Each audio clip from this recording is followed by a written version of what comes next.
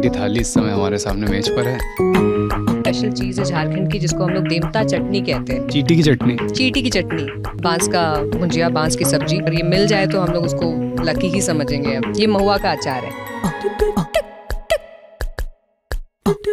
ये स्पेशल चीज़ है। साल के पत्ते में बनते हैं। ये सनई की फूल है। ये हर घर में आदिवासी घर में बनना है। फुटकल की चटनी या फुटकल की अचार। डेजर्ट में हमारे पास कुछ खास है। अ, बालूशाही अभी हम कंफ्यूज हो गए हैं कि क्या खाने के साथ खाना है क्या खाने के बाद खाना है। ताकि अब मिलने खाओ खाने तो दो इसके बिना कहा जाता है मेहमानों की अ, स्वागत अधूरा रहता है।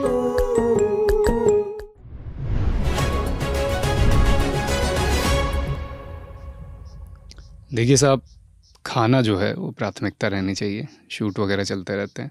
इसलिए हमने खाने का भी प्रबंध करा लिया है। झारखंडी थाली इस समय हमारे सामने मेज पर है और इसमें क्या क्या चीज़ें हैं क्या क्या पकवान हैं, ये समझाने के लिए हमारी दोस्त भी हैं। तो पहले थोड़ा हमको बताइए, साथ में खाना भी शुरू करते हैं। लेकिन सबसे पहले ये बता दीजिए कि इसमें से जो जो नॉनवेज चीज़ें हैं, वो मैं अभी नहीं खाऊँगा, मैं नॉनवेज खाता नहीं हूँ। तो ऐसी कौन कौन सी चीज़ें हैं? वेज चीज़ें रख लेते हैं। ठीक है। अ, हम लोग गाँव पे कभी कुछ त्यौहार पे या फिर शादियों पे आते हैं तो कटनौसी से शादी अ, मतलब शादी में मेहमानों का स्वागत किया जाता है तो ये कटनौसी है तो इसे मैं पहले किनारे रख देती हूँ। चना और चिकन के लिवर से ये बना होता है और इसके बिना कहा जाता है मेहमानों की स्वागत अधूरा रहता है तो ये होना ज़रूरी है स्पेशली इंगेजमेंट सेलिब्रेशन हो गया या शादी में हो गया आदिवासी शादी में तो ये रहना ज़रूरी है। और दूसरा आप देख रहे हैं चिकन है जो देसी तरीके से पका हुआ है। आ, उसको भी मैं बाहर रख देती हूँ जैसे आपने कहा। और यहाँ पे नॉनवेज में है जो स्पेशल चीज़ है झारखंड की जिसको हम लोग देमता चटनी कहते हैं। देमता छोटी लाइक चीटियाँ होती है लाल चीटी जो पेड़ों पे होती है पत्तों। चीटी की चटनी? चीटी की चटनी जी। उड़ीसा को रिसेंटली अभी जीआई भी मिला है इस चीज़ों को लेके। और ये हाईली न्यूट्रिशियस होती है विटामिन सी का एक रिच सोर्स होता है। और ये हमारे खान पान में तो ये अभी भी यूज़ हो रहा है। शहरों शहरीकरण तो हुआ है बट गाँव में ये अभी भी यूज़ हो रहा है। अगर ये मिल जाए तो हम लोग उसको लकी ही समझेंगे अब। Vitamin C rich vitamin C rich definitely और हम शुरुआत करते हैं चावल से। हाँ हाँ? रोटी से करते हैं। आप आप जो हाथ पे पकड़े कौन से आटे की? ये मड़वा रागी। हम लोग रागी देख ही रहे थे खेतों में और अभी है। और ये रागी की रोटी है। और उसके नीचे में है वो है छिलके की रोटी। हाँ छिलका रोटी बोलते हैं हम लोग यहाँ पे चावल की रोटी। अरवा चावल को हम लोग ओवरनाइट फर्मेंट करते हैं और थोड़ी दाल डालते हैं और उसके साथ। ये तो लौकी है मेरे ख्याल से। जी वो तो लौकी है। लौकी के पहले ये दिख रहा है ये ढुसका। जैसे लिट्टी चोखा बहुत फ़ेमस हो चुका है बिहार के लिए हमारे लिए ये यहाँ पे ढुसका। नाम सुना। हाँ हाँ तो ये ढुसका है। इसके साथ कॉम्बिनेशन सबसे अच्छा रहता है। चने और आलू की जो एक सब्ज़ी होती है उसको ग्राइंड करके पेस्ट बनाते हैं घुगनी के साथ इसको खाया जाता है। तो अ, उसके साथ आप खा सकते हैं। और हम लोग यहाँ से शुरू करें। ये कौन सी दाल है? ये दाल हरी दाल है। अ, पालक का प्रयोग हम लोग दाल पे मिला के बहुत करते हैं। हाईली न्यूट्रिशियस होता है और यहाँ पे हमारे यहाँ भी बनती है हाँ, पालक सिमिलरली यहाँ पे भी हम लोग बनाते हैं। और उसमें और भी दाल हम लोग डाल सकते हैं। तो यहाँ पे हम लोग मसूर और उड़द की दाल को मिक्स किया है हम लोगों ने। और यहाँ पे है माड़ झोर। ये बड़ा ट्रेडिशनल एक तरीके माड़ झोर। एक तरीके की जगह दाल के जगह हम लोग ये यूज़ करते हैं। जो लाल चावल होता है, उसका जो स्टार्च बचता है, पानी जो बचता है, उसको हम लोग छौंक लगाते हैं और किसी भी प्रकार का आप साग यूज़ कर सकते हैं। ट्रेडिशनली हम हम यहाँ पे यूज़ किए हैं फुटकल का पाउडर फुटकल साग की पाउडर फुटकल फरवरी और अप्रैल के महीने में होता है एक फाइकस ट्री बोलेंगे हम लोग अंग्रेज़ी में और ये बहुत ही ऊपर, अब तो मिलना भी बंद हो गया है।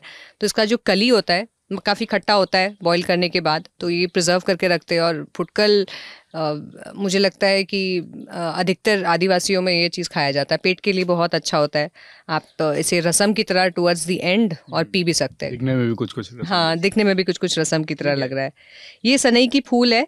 आ, हाँ सन है हाँ जो आपने रखे देखे ये सनई की फूल है। और अभी तो फ्रेश मिल रहा है इसलिए ये बहुत अच्छा है।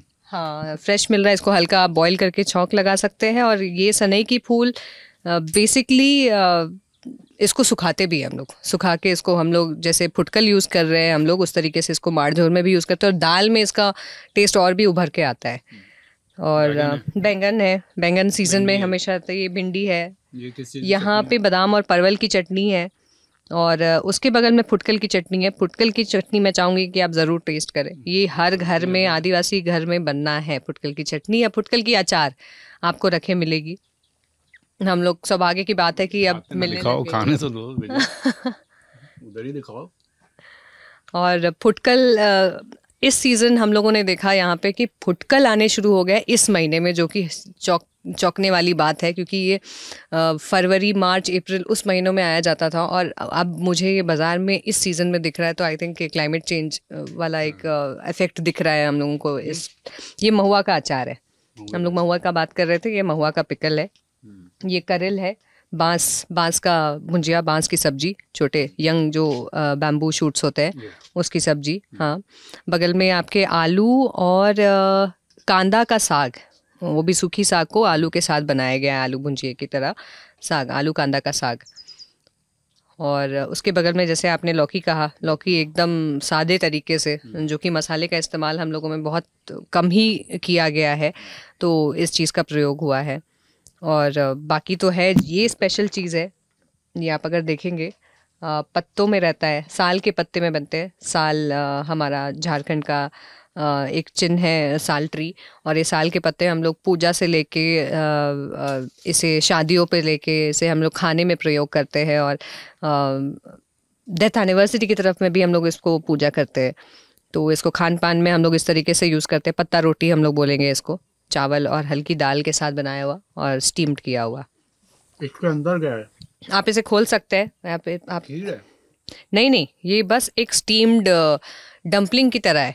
एक स्टीम्ड चावल मिठाई है, dessert तो type। हल हल्का मीठा है। ये हम लोगों ने सेवरी बनाया ताकि आप उसको क्रश करके दाल के साथ अभी हम कंफ्यूज हो गए हैं कि क्या खाने के साथ खाना है क्या खाने के बाद खाना है। अब चावल को तो डेफिनेटली आपके लिए बहुत सारी चीज़ें हैं दाल है रसम है। है ये खाने की शुरुआत में ही आप उसको मैश कर सकते हैं किसी एक ग्रेवी के साथ। सबसे बेस्ट रहेगा दाल या फिर आलू चने के साथ पूरे मैश करके जिसे हम लोग इडली करते हैं। जैसे हाँ। मान ली थोड़ा सा ये लिया। हाँ आप उसको एकदम हाँ इसको खोलना पड़ेगा। आपको पत्ते अच्छा। को। हाँ पत्ते यहाँ से खुलेंगे। मैं खोल रहा हूँ। हम्म। यहाँ खोल लीजिए। ज़रूर ज़रूर। साइड में होंगे। हाँ सिकरी बोलते हैं हम लोग उसको। ठीक है पत्ता पूरा खोल दिया। और भी खुलेगा वो। हाँ। हम्म। अब इसमें से इसमें से आप हाँ निकाल के आप उसे सब्ज़ी के साथ डिप करके या मैश करके। बस रोटी जैसे ही खा लें। रोटी जैसे ही खा ले सकते हैं या फिर इडली कैसे खाते हैं हम लोग साउथ में पूरे उसको मैश करके उस तरीके से खा सकते हैं। हम्म। हम्म। चावल का प्रयोग हमारे यहाँ ज़्यादा किया जाता भी है। चावल से ही बना है? चावल से ही बना है वो भी चावल से बना हाँ। चावल से ही बना है। अधिकतर चीज़ें चावल से बनी रहती है। चावल भी कुछ खास लग रहा है ये वही चावल है जो अभी हमने देखा। हाँ हम लोग बात कर रहे थे गोड़ा चावल की। अ, गोड़ा धान बोलते हैं, गोड़ा धान से गोड़ा चावल आता है, जो बहुत कम पानी में उगता है। Highly nutrition rich in carbohydrate और बहुत ही अच्छा होता है। हम लोग ब्राउन राइस रेड राइस देखते हैं अब बड़े बड़े दुकानों में। ये भी उसी प्रकार की वैरायटी की राइस है। हम गाँव में कहा जाता था कि किसान अगर इसे सुबह खा के जा रहे हैं और इसका माड़ पी के जा रहे हैं तो वो शाम को घर भी लौटेंगे तो काफ़ी न्यूट्रिशियस और उस समय तक एनर्जी बची रहती थी। तो हमारे लिए तो ये चावल काफ़ी खास है। और डेजर्ट में हमारे पास कुछ खास है। बालूशाही? हाँ बालूशाही है। और जो कि हम फार्म टू टेबल हमारा रेस्टोरेंट है तो हम लोग इस पे अ, थोड़ा कस्टर्ड और बेसिल बन तुलसी के पत्तों के साथ हम लोगों ने सर्व किया है। बालूशाही पे केसर? कस्टर्ड कस्टर्ड और बन तुलसी के साथ उसको। तुलसी। तुलसी। की एक वैरायटी है पन तुलसी। आप जंगलों के एरिया में देखेंगे इसके इसके जो लीफ होती है ये पत्ते होते हैं काफ़ी बड़े होते हैं नॉर्मल ये से। और जब आप उसको हाँ जब उसको चबाएँगे वो एक मिंट की तरह आपको एक अचानक से फ्लेवर देता है। हम्म। और काफ़ी हेल्दी भी रहता है और दवाइयों के लिए काम आता है।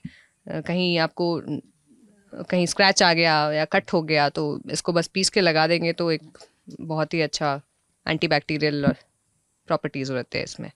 बढ़िया। आप एंजॉय कीजिए। हाँ आप खाना खाते हैं बातें हाँ। बहुत हो गई।